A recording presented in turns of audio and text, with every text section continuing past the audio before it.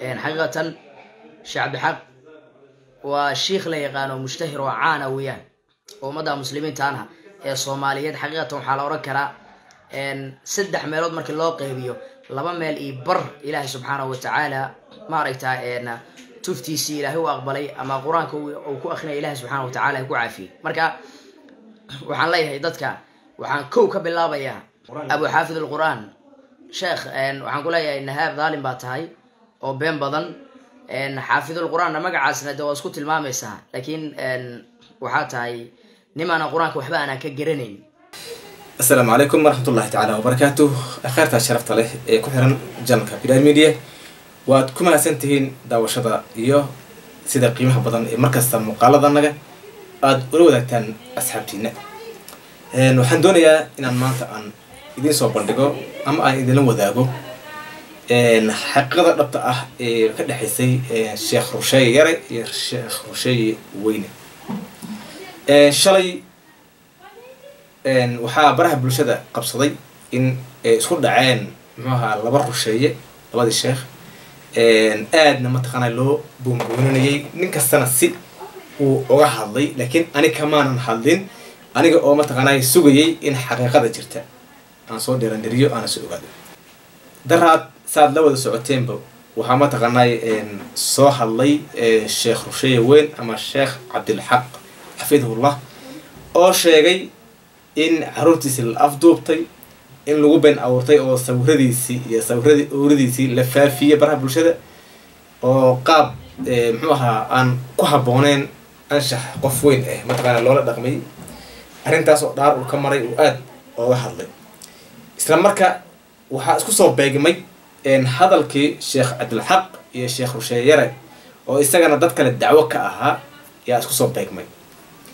Dadkii marka sheekh rusheeye yare muusan caddaynin dadka dacwada uu ka yahay isaga muusan sheegin laakiin wuxuu yidhi dad baan codad ka hayaa waana soo bandhigi.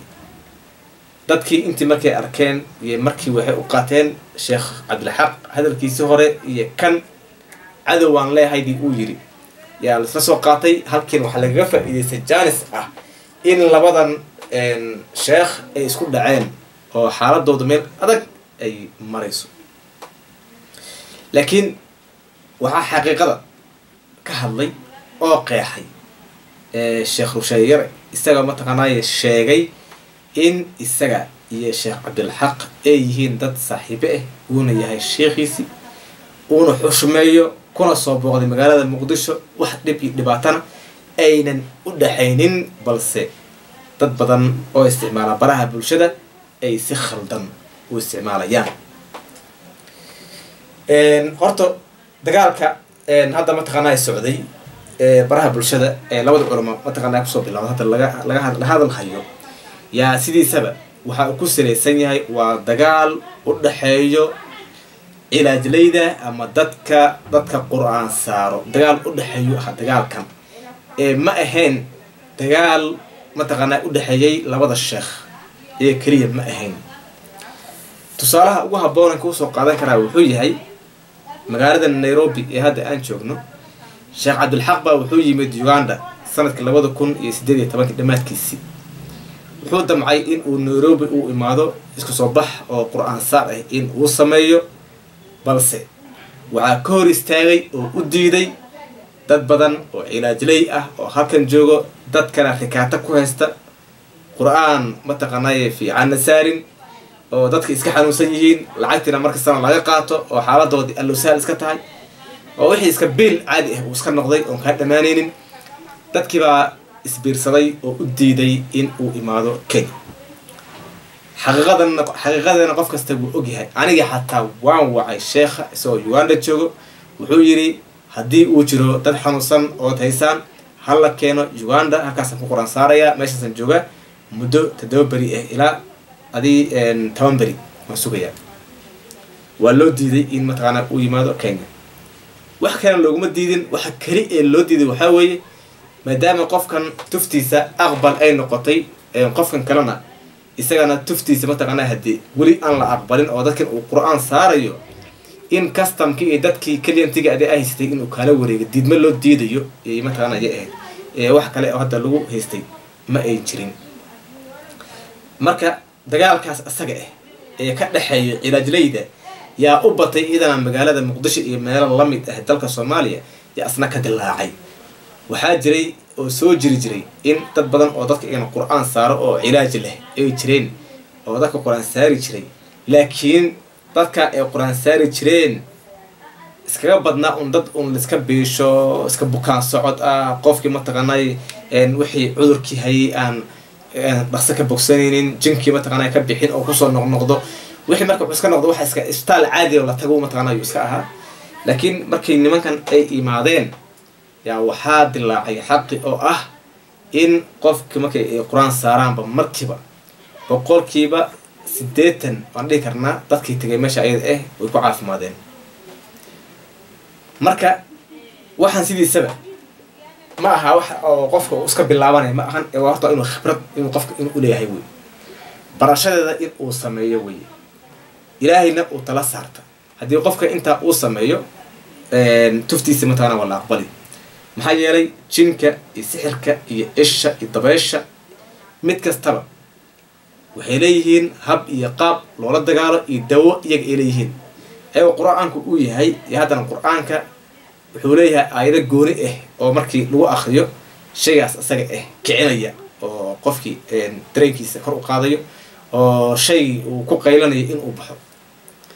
Laakiin haddii qofkii uu khibraddii uusan u lahayn oo uu yidhaahda keliya ah muxuu ahaa qur'aanka besa mataqaanaya saari dawo kale mataqaanaya ma lahan ilaahaasu ku bogsanaya nacam qur'aanka ku bogsan qur'aanka waa daawo qof kastana wuu ogyahay ilaahay baa noo sheegay laakiin saa ee haddana qur'aanka waxaa ku jiro aayado gooni ah oo loogu talagalay oo mataqaanay dadka sixirka aayado gooni uu leeyahay isha aayado gooni leeyihiin jinka aayado gooni uu leeyahay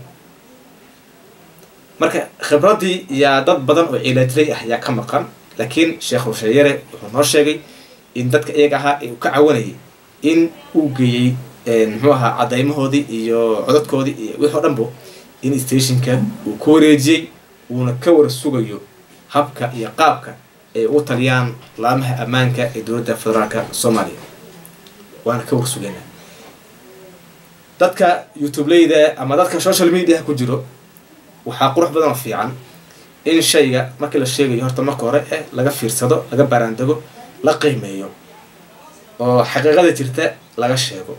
Laakiin shayga haddii aada hubsanin ood iska sheegto ogow shaygaas asaga ah wuu kaa daba imaanayaa hadda waxaan arkaya sheekha isagoo dad badan soo bandhigayo oo uu leeyahay hebel iyo hebel waxayla soo qoreen uu sheegay.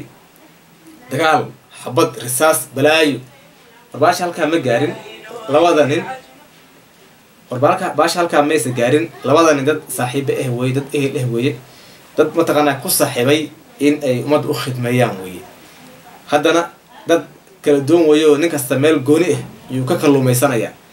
Markii hal magaalo la joogo iyo baasha xoogaa ayaa qoomaa laakiin markii magaalooyin kala duwan la joogo inta badan dadka saaxiibo weeye waxaa yeelay nin kasta uu joogo yuu ka berisiinayaa halka iyada ah iyo wixiisana ka waxaysanaya marka dadka ku jira social media waxaa qurux badan mar walibaba in aad shayga sida uu yahay aada uga hadashaan. Inta aad ka helaysaan caddaymo idinku filanna inaan bulshada la wadaagin. Laakiin markasta haddii uu noqdo waxaan asaga ah viisku raadi iska hadal hadday noqoto dee adna waad micno beelaysaa janalkiina wuu micno beelayaa dadka ku daawanayana waxaan aan xaqiiq ahayn baad u soo gudbisay oo mataqaana laga fiican yahay laga qurux badan yahay marka markasta waxaa fiican inaad shayga aa hubsato kadib aad u soo bandhigto bulshada. Markaas wuxuu noqonaya wax intifaac leh oo bulshada ay ku intifaacayaan. Intaasa ku soo kuwaya barnaamijkii koobnaah ee aan kaga hadlayay sheekh rusheeyare iyo sheekh rusheeyaweyn iyo xaqiiqada jirtay halka ay taallay. Intaan barnaamijkan mid la mid ah aan ku kulmayno waxaan idinkaga tegayaa saas nabad geli